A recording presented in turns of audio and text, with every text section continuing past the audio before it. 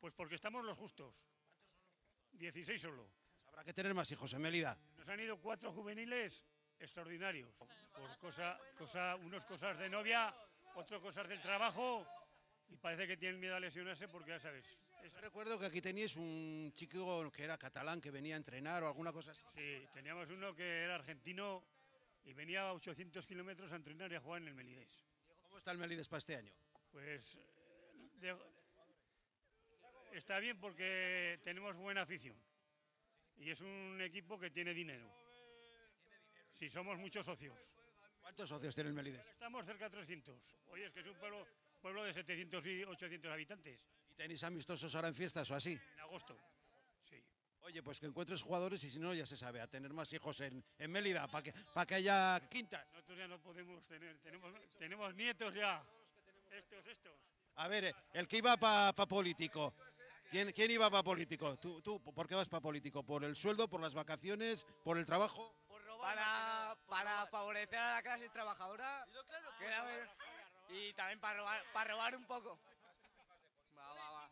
Para robar un poco, así aparezco casta o no. Vale. Pues para robar un poquito y luego para favorecer al pueblo de Melida, ¿Y en qué lo vas a favor- favorecer al pueblo? pues en poner unas pistas de pádel y, y más días de fiesta y para el Sporting Melidés, para que arranque ahí, para que arranque. Vosotros no juegan ninguno al fútbol. Está, futuro jugador de Sporting Melidés. Los tres jugamos en el mismo equipo, este, este y yo, en el mismo equipo. Hombre, Balasen es el mejor pueblo del mundo, ¿sabes? Ahí tienes todos los jugadores que quieras, no te falta nada. Tenemos por aquí también un técnico de televisiones que se ha dedicado a sintonizar zona media a todas las señoras mayores del pueblo, ¿no? Hombre, claro, yo soy sintonizador. Gracias, Zona Media, Aupai, ¿eh? Por cierto, para Amelia necesitamos un florentino. Por favor, ven ya. ¿Y qué tiene que ver Mendillorri en fiestas? Nada, sin más. Un amigo. O sea, te ha dado el aire por ahí, nada más. ¡Un saludo para Peña! Muy bien, venga. Hasta luego. Ya, ya, te quiero. Muchísimo. Mucho, mucho. Nos, despe- nos despedimos de Mérida en fiestas.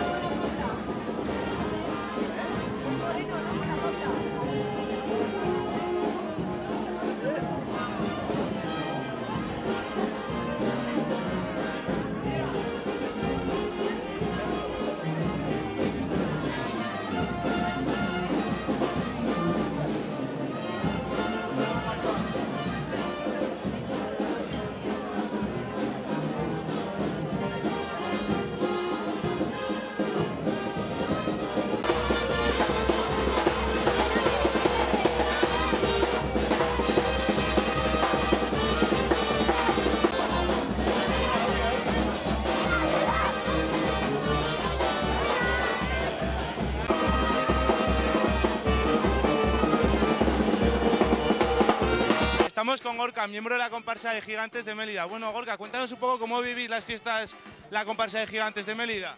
Pues con muchas ganas y con mucha intensidad. Desde el día del cohete que salimos todo el día con ellos, desde la mañana, hasta la hora de comer, descansamos para comer y luego a la tarde otra vez. ¿Suele acompañar mucha gente a, los- a la comparsa de Gigantes de Mélida? Sí, últimamente pues eh, los padres con los críos suelen venir bastante, bastante, bastante. ¿Cuántos miembros componéis la comparsa de Gigantes de Mélida? En estos momentos estamos 12. ¿Y hay gente esperando para entrar o crees que va a entrar más gente dentro de un tiempo? ¿O cómo lo lleváis esto? Pues esperamos que de aquí al año que viene entre gente nueva, chicos de 17, 18 años, porque nosotros ya estamos 4 o 5 ya bastante veteranos y llevamos ya 19 años bailando. Entonces necesitamos un relevo.